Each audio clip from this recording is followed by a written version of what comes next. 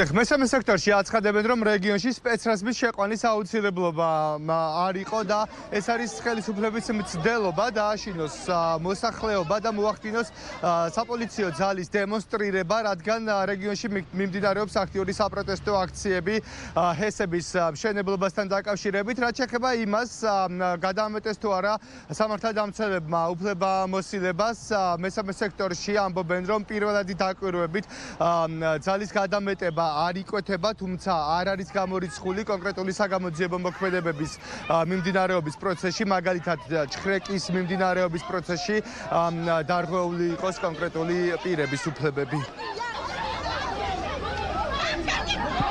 სპეცრაზმის შეყვანას ქონდა პოლიტიკური ეფექტის მოხდენის ინტერესი. დღესაც როცა ქვემოსვანეთში მიმდინარეობს აქცია, ხო, ჰესების წინააღმდეგ, აი ამ ფორმით სახელმწიფო შესვლა რეგიონში უკვე მიანიშნებს იმაზე და სერიოზულად ჭვებს აჩენს, რომ მისი მიზანი სწორედ აი ამ წინააღმდეგობის და პროტესტის გატეხვა და დასუსტება შეიძლება და ყოფილიყო. გაცილებით უფრო მაღალი ინტერესები ჩანს ვიდრე ადგილობრივების თქვათ ინტერესი, გლეხის ინტერესი მოჭრას ხე ეკონომიკური გადარჩენისთვის. წარმოუდგენელია იმ გზაზე მე გამოვაპარო ერთი ასანთისკოლოფი მარიხუანაც კი ისე გაჩხრეკავან ყოველას. წარმოუდგენელია იქიდან გამოგქონდეთ ეს ხეტყი იმ რაოდენობით, რომ ეს არ იყოს უმკაცრესი ფარველობის ქვეშ მართლობითი სტრუქტურების. წესით კარგ საქმეს, რომ ბრაკონიერობის აღკვეთას აკეთებს ისე, რომ ამით ის არ ზრუნავს საერთოდ გარემოს გადარჩენაზე და ბუნებაზე. ის ზრუნავს რაღაცა, არ ვიცი, იმიჯის შექმნაზე, დაშინებაზე იმ მოსახლეობის, რომელიც იქ